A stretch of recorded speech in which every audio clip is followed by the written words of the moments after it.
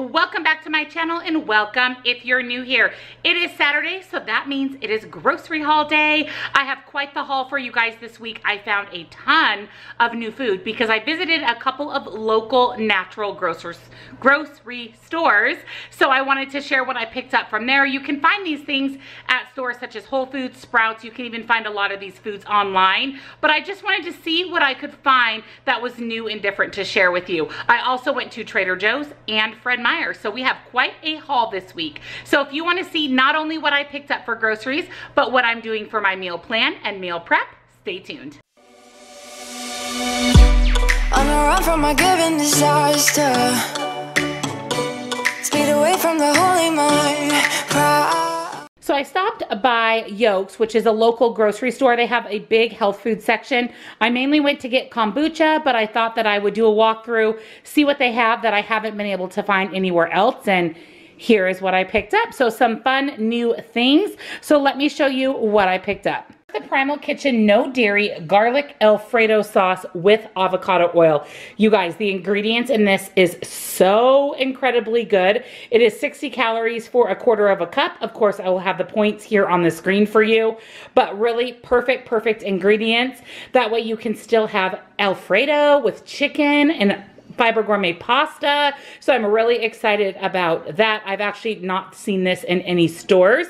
And then they have their sweet drops on sale and one of you guys suggested these to me and I really, really like them in my coffee. So I bought the vanilla cream and then they had these for about $6.75 at Yoke's Grocers.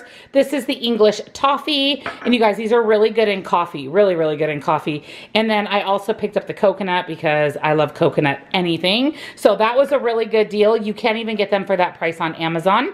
And then I saw this and I am going to be making a uh, egg roll, kind of a clean eating egg roll. And I saw this organic sprouted vegetable fried rice.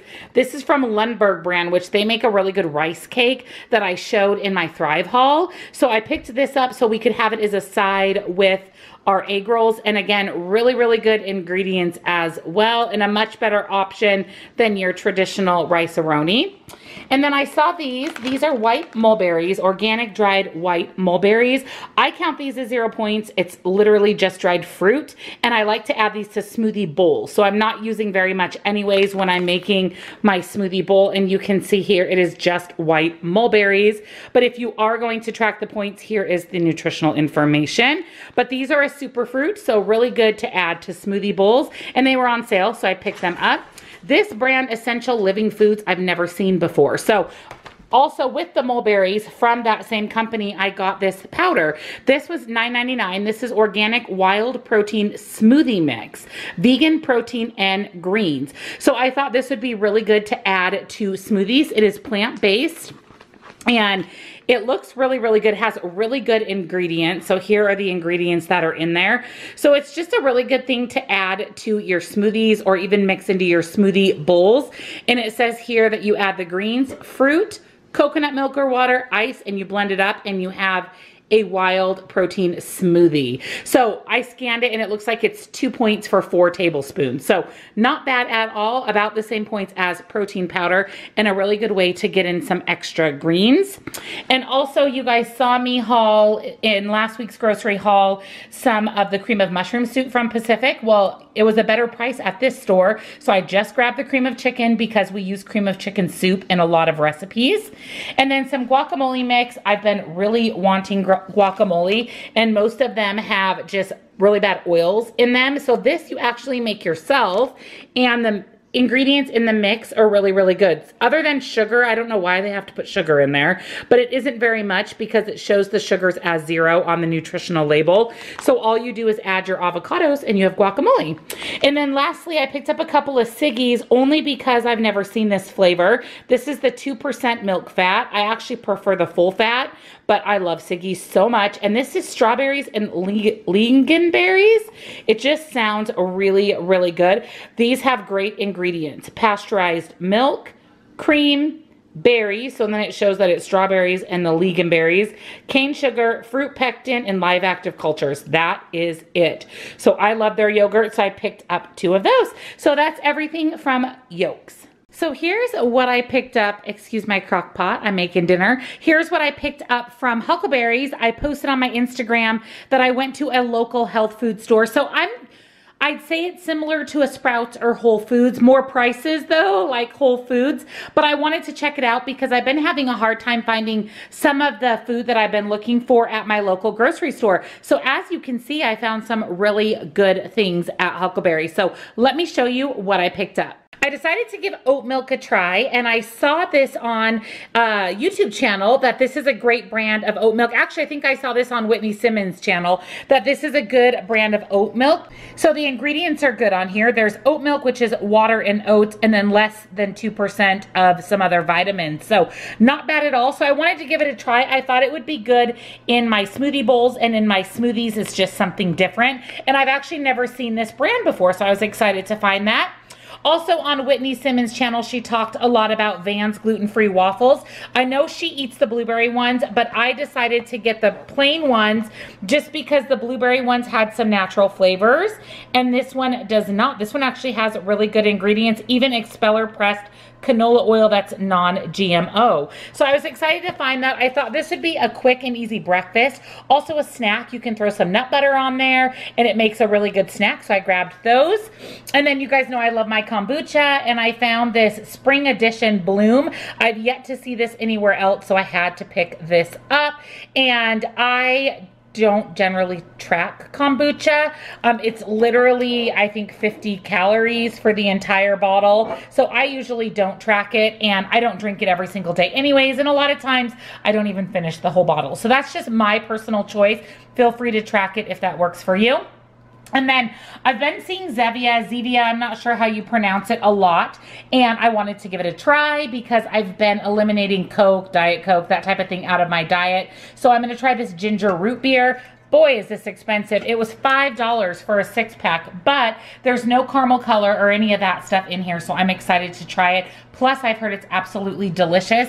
And I think if I remember right, the sweetener in here is stevia. So that's awesome. It does have natural flavors though. So that's the one thing that is questionable, but it's natural flavors. I'd rather have that over caramel coloring. Also, they had a ton of flavors of Hope hummus and their price was better than Fred Meyer. So I picked up the black garlic. That just sounds so good. I love Hope hummus. They have really, really good ingredients.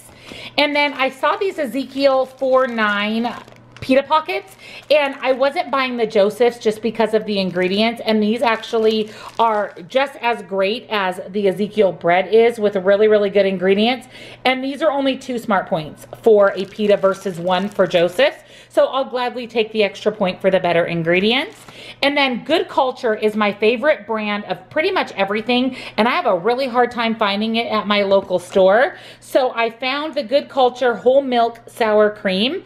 I'm trying to not have light or reduced fat dairy. So this whole milk sour cream is awesome. And the price was pretty good on that. And then I was really excited to find the whole milk cottage cheese. I've been looking and looking for this. And this is the only place I've been able to find it. So excited for that. And then I've also, as you know, I mentioned is I've been avoiding carrageenan just because it does have an inflammatory effect. And so this CocoWhip is a dupe to whipped cream. So any canned whipped cream, even the really expensive organic whipped creams have carrageenan. So this does not. It is made from coconut oil. So I was really excited to find it. Here are the ingredients. Really, really good ingredients. There is no carrageenan. There is cane sugar. Um, but other than that, what they are binding this with is sunflower lectin and xanthan gum. So I was excited to see that there is natural flavor. That was the only questionable ingredient, but hey, it's a great way to reintroduce whipped cream into my life. So I'm excited for that. And then I grabbed some cheese. I like the Walmart organic uh, shredded mozzarella, but they have not had it at my Walmart. And you guys, this was almost $6 and the one at Walmart is $3. So I'll be using this sparingly. And this one is actually one more smart point. It's three points for a quarter of a cup. And the Walmart mozzarella is two points. But I needed to have some good cheese on hand. Went ahead and grabbed some more Lily's because I used the last of them in my baking recipe that I made. So I have another refill here of my Lily's. And then I grabbed an Amy's Organic Burrito. I'm actually going to have this today for lunch. This is the gluten-free black bean and quinoa. This is only four smart points. I was so excited to see that it's only four points. And here, I'll show you guys the ingredients in here. The ingredients are really, really good. So, I mean, for a food that is freezered, you know, and not a food that you're cooking at home, it has really good ingredients, including expeller pressed oils. So, I'm excited to have that. And then you know I've been loving this Essential Living brand and I found these organic golden berries. So I found the mulberries at my other local store that I you saw earlier in the haul from the local Yoke's, but they had the golden berry. So I was excited to have these. I like to put these on my smoothie bowls or in my smoothies. They are literally just the berry there we go. Literally just the golden berry. So I count these as zero points. I usually put literally a tablespoon on my smoothie bowl. I don't usually count dried fruit unless I'm eating a lot of it. But if I'm eating the same amount as I would of fresh fruit, I generally don't count it. I did grab some organic lime juice and lemon juice because this last week alone, I have needed this several times and had none on hand.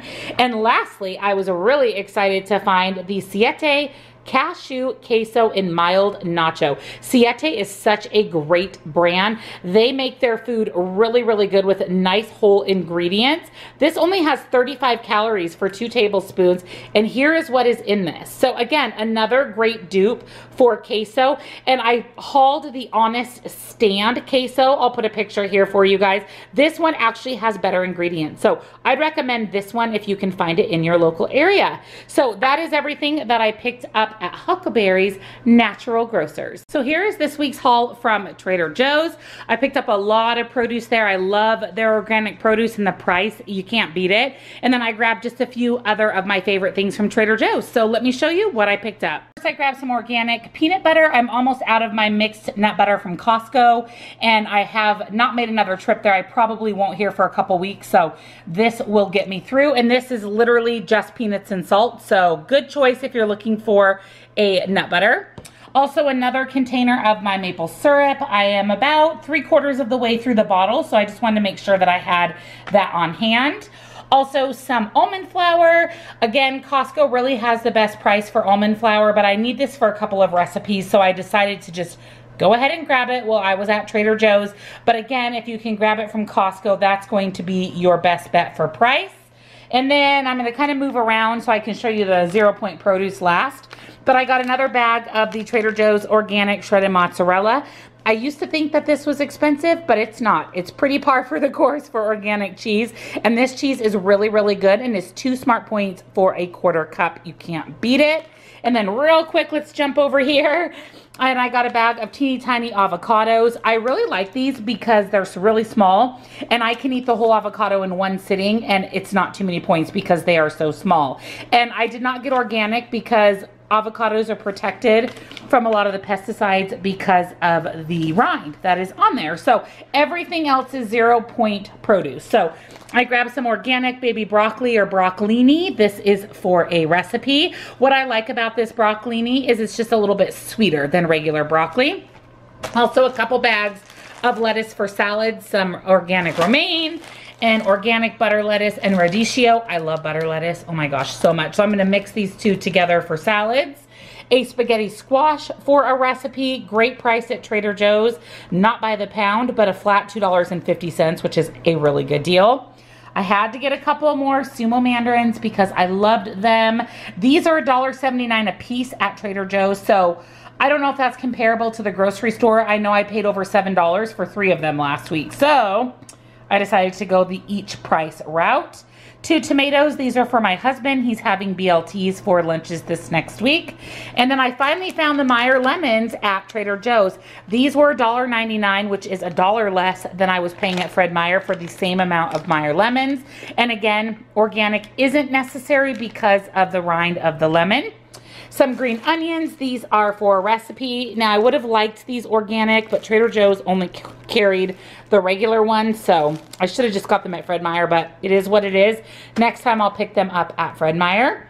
organic celery hearts for a recipe and for snacking, some organic asparagus. I have been on this big asparagus kick lately. I don't know why, but for some reason, I've been really loving asparagus. Some iceberg lettuce. This is for my husband's BLT sandwiches.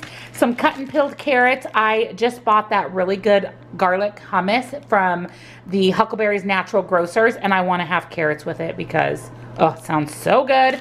And then I went ahead and grabbed some organic wild blueberries really good price on these and these are those little teeny tiny blueberries and they're super super sweet so I love them so I picked those up and lastly a huge pack of organic strawberries $8.49 at Trader Joe's, which seems ridiculously expensive, but they're not in season, so it's actually not too bad of a price. And these actually look really, really good. So that's everything from Trader Joe's. So let's jump into our final stop, which was Fred Meyer. And our last stop, Fred Meyer or Kroger. I did pick up another, a couple of non-food things, but I don't want to show you because you're going to be seeing those in an upcoming video. Just a couple of fun bowls for a smoothie bowl recipe video that I'm going to be putting out. So let me show you what I picked up from Fred Meyer. First, I went ahead and restocked my Forager cashew milk. You guys, I love this cashew milk. No lie, this has the best ingredients that you're going to find. And this is on sale right now at Fred Meyer for $4.69. So it's a dollar off. I'm telling you, it's so good. No carrageenan, no artificial anything, no natural flavors. Love it. So I went ahead and grabbed that. Also, I picked up this half and half this week. I, they did not have any grass fed, which was interesting. That last little carton of grass fed was from Walmart. So I thought this would be fine. I did check the ingredients and it's just the milk. So this is the Simple Truth Organic half and half. Also another container of coconut water for my smoothies and smoothie bowls. I really like having this as an option to add to those. Pimentos, this is for lunch meal prep. I'm going to be making a pimento chicken type of sandwich. Also, I grabbed some of the Applegate Naturals uncured Black Forest ham. If you're looking for a really good high quality meat with nothing added, Applegate is amazing. It is a little bit on the pricey side, but you can't beat it and it has really, really, really good ingredients. There we go. So it's just pork, water, and sea salt, nothing else. So there is no natural flavors or sugar, and I'm going to be using this for salads and wraps, so I'm excited about that. Also picked this up for my husband. This is just some cheddar and jack cheese, just so he has some shredded cheese on hand. For those of you asking, he does not follow the same eating as me. He doesn't try to eat clean and whole foods. He eats whatever. So this cheddar jack cheese is for him. I also grabbed another dozen happy eggs. These, you guys, I'm telling you, best eggs for the price. Love them. Also for my husband, some buttermilk bread. He's gonna, again going to have BLTs for lunches. So this is the bread that he chose. So I wanted to show it to you guys because it's only three smart points a slice. So not bad. Take a wild guess who these are for. That's right, Diesel and Lola. No salt added green beans. We go through about a can to two cans a week. They get this at dinner or lunch instead of table scraps? And they love them. So got those. And then I had a coupon for the Kettle and Fire bone broth. I've actually never tried this, so I went ahead and grabbed it. This is great to have on its own as soup, or you can use this in place of broth in recipes. So I thought I might use it to cook up some quinoa. So I'm excited to try that. It also has really, really good ingredients. And again, is a little on the pricey side, but they had a pretty good coupon for it. So I went ahead and grabbed it. Also, I got some Simple Truth organic chicken breast because I haven't made it back to Costco. This is much less expensive than buying it fresh in the meat section and it's the exact same chicken. So this is two and a half pounds for $10. I found less than a pound for $6. So this is a much better bang for your buck. Also some Simple Truth organic 93.7 ground turkey. This is just to have on hand for recipes. Again, for BLTs, I decided to go with the no sugar added uncured smoked bacon. That way I can eat this as well. This is one of the only ones I could find that was organic and did not have added sugar. So I picked that up right away. Everything else is produce. The only thing that has points, of course, are potatoes. So this is the Simple Truth Organic Russet Potatoes. We've been loving roasted veggies, so I wanted to have these on hand. I also grabbed two of the mixed bell pepper from Simple Truth, an orange and a red. We have some frozen fruit for smoothies and smoothie bowls. So I have some organic dark sweet cherries and organic pineapple chunks. Also picked up some green beans. I actually had a coupon for a free pack of the private selection green beans. These are not organic, but green beans, uh, they're not on the Dirty Dozen list, but I would prefer them to be organic, but it was free. So I went and picked it up. And lastly, I grabbed some Green Giant rice veggies. This is the cauliflower medley. Again, not organic, but I wanted to have this on hand to make cauliflower fried rice or something like that. So went ahead and picked that up. So that is everything for this week. Lots of groceries this week. So let's jump into my meal plan and my meal prep. So let's jump into this week's meal plan. As of right now, I am planning on flying out to San Diego on Friday to see my best friend and do a fun run unless the fun run is canceled and then I may postpone my trip. But this is what I have going on for the week. So this is the week of 314 through 320. So as of today, I'll just be going out to dinner. Today, Saturday is the day that I use my weeklies, so I don't track on that day. Sunday, I'm going to be making a Szechuan beef stir fry. I'm actually really excited about this recipe. I've been craving this kind of food, so I'm gonna make it a cleaner, healthier version of it, so I'm super excited. Monday, we'll be doing our typical leftovers because I go to Jazzercise.